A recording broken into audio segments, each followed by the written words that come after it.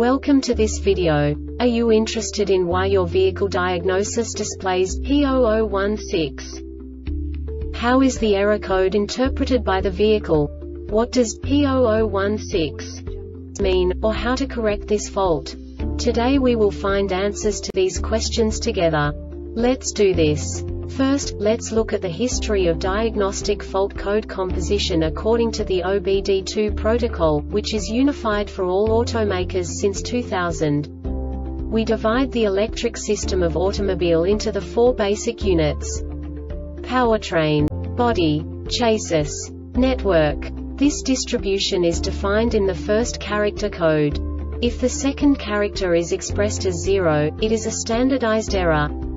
In the case of numbers 1, 2, 3 it is a more prestigious expression of the car-specific error. The third character specifies a subset of errors. The distribution shown is valid only for the standardized DTC code. Only the last two characters define the specific fault of the group. Let's not forget that such a division is valid only if the other character code is expressed by the number 0. Our website airbagreset.sk produces useful videos for you. You do not have to go through the OBD2 protocol anymore to know how to troubleshoot any car breakdown. You will find all the diagnostic codes that can be diagnosed in a Buick vehicles. Also many other useful things. The following demonstration will help you look into the world of software for car control units. You unbelievably can move the video a bit further. The error code is split into two bytes consisting of 16 bits. One bit is the basic unit that each computer works with. The bit has two logical states.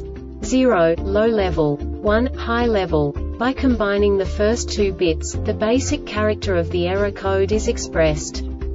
The next two bits again determine the second character. The last bit styles of the first byte define the third character of the code.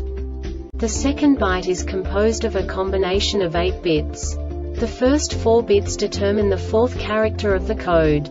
And the combination of the last 4 bits defines the fifth character.